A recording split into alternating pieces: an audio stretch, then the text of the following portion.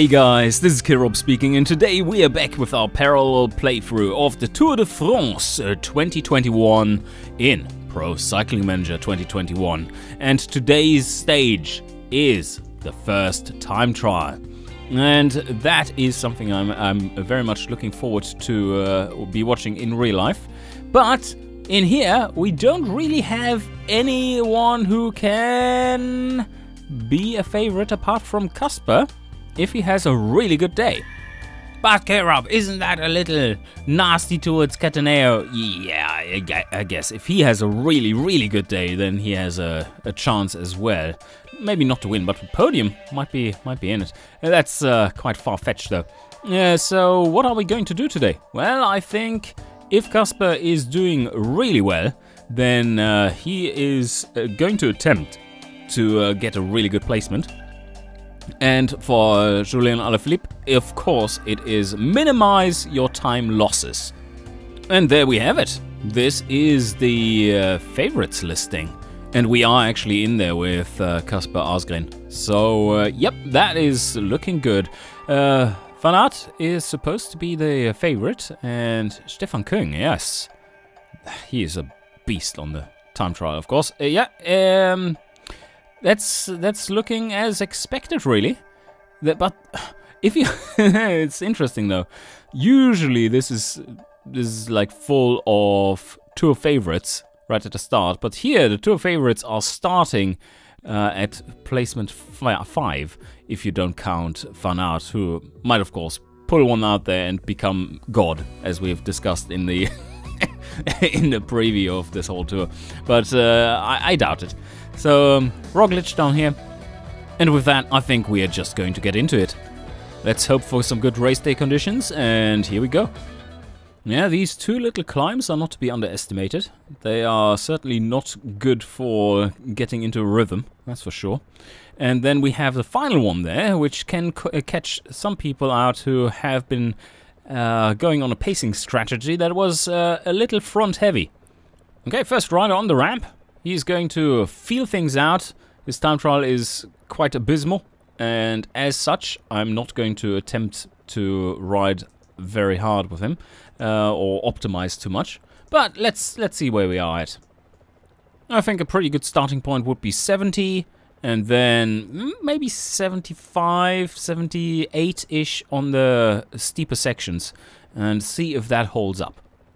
And here going into the second little climb, this is all very small scale, so uh, it takes a little quick changes here and there. There we go, into the downhill again.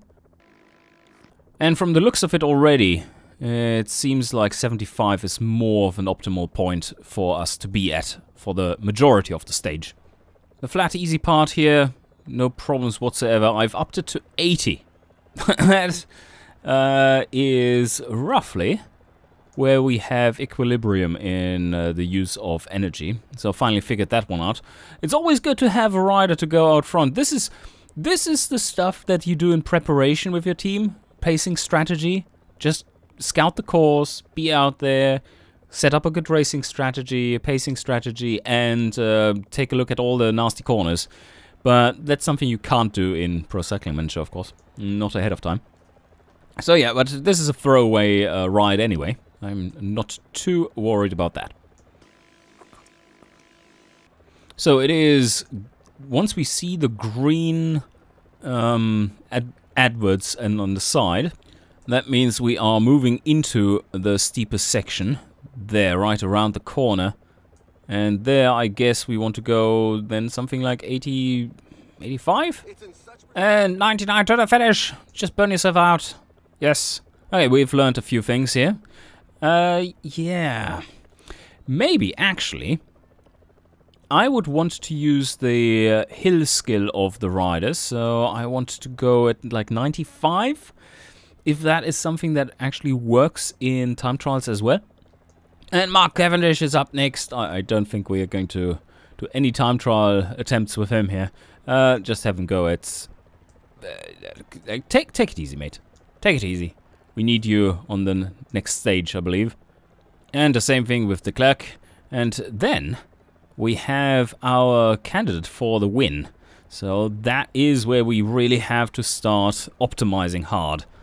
And we're off. Ah, yes, just a plus one today.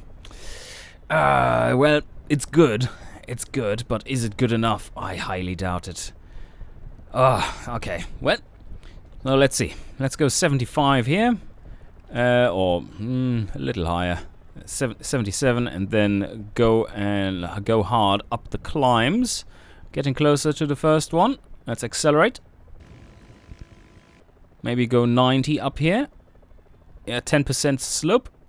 Just keep some momentum going and then drop back down to the 80 baseline. Next slope over the top. Keep some momentum going. Yes, well done. And back down. Slightly higher effort in the little climb here. And we are uh, keeping pace with the distance roughly at this point. I do need to catch up a little and have some reserves for the final push. Uh, okay. And we are currently in third. What? Did we do so poorly? Can't really imagine that. How have we have we lost 26 seconds so far?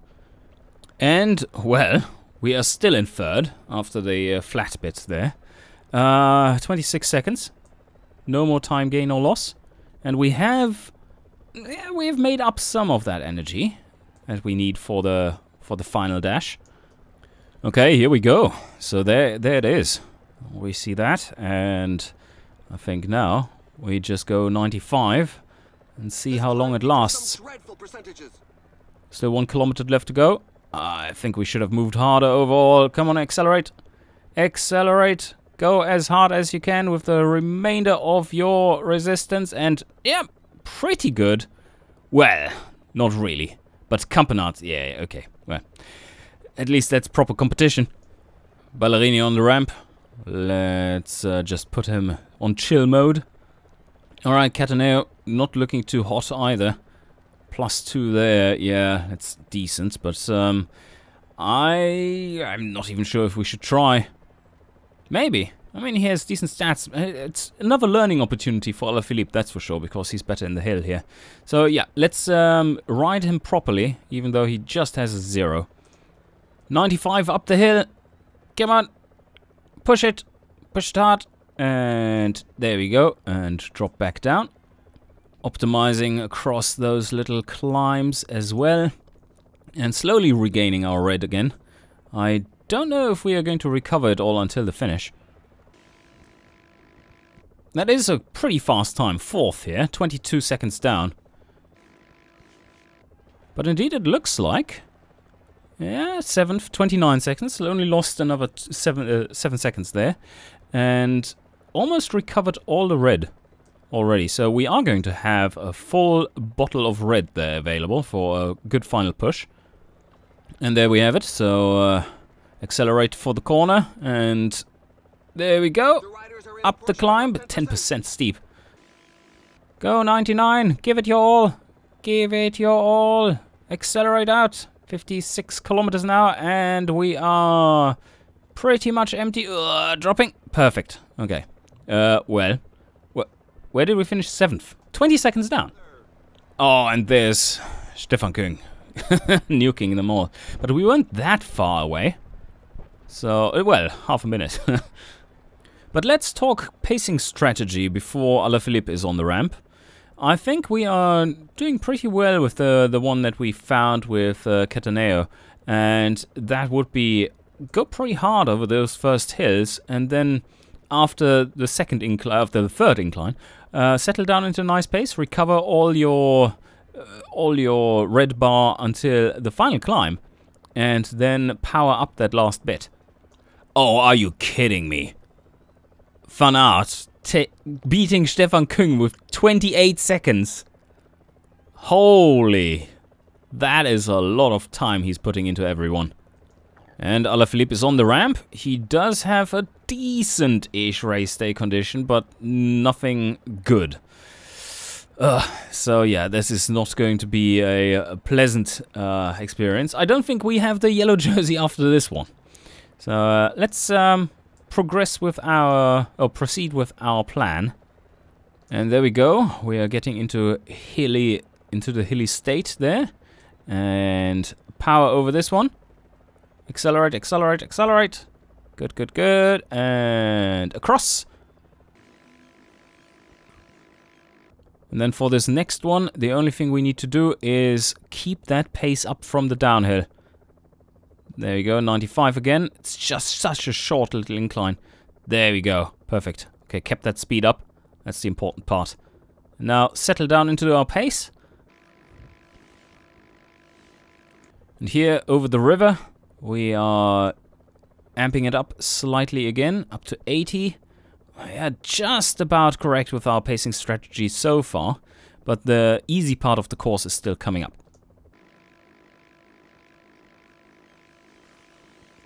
And the first split time is coming up. Where are we at? How far down? Only 29 seconds. And 16th. yeah, ouch. That's about where I was expecting to be. Cattaneo in 17th on that one. Oh no, that was the total. Um, where are we at? There's so many riders in front of us there. Uh, also Roglic and Pogacar. Yeah, in the 6th and 7th. Alright, here we go. Can we get across this one in style? Let's see. Oh, let's go 95. Accelerate. Power over the climb. Re-accelerate for the finish. And then just keep it there.